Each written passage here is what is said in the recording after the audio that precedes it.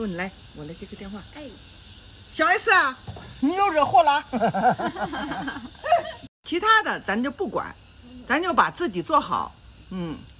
近日，张兰在直播时接到小 S 的电话，温柔的调侃道：“你又惹祸了。”接完电话后，张兰直言不该管的不要管，只要把自己做好。对于网友一直提问关于小 S 的事情，她也没有正面回应，只是强调自己不管别人的事儿，似乎在刻意划清界限。在过往的节目中，小 S 与张兰的关系其实很好，这件事张兰一直没有正面回应，或许也是怕引火上身吧。事情已经过去多天，小 S 好友出面解释，汪小菲也发文力挺她，称她只是打了疫苗。后反应激烈，但很快就删除了。他的粉丝还总结了过去他在节目中的表现，力证他的清白，但似乎并没有任何作用。看来只能小 S 亲自道歉，才能平息这场风波了。你怎么看呢？咱们个人的这些八卦呀，少管他们这些，这脑子就这么多地儿，没地方装那些乱七八糟的事儿。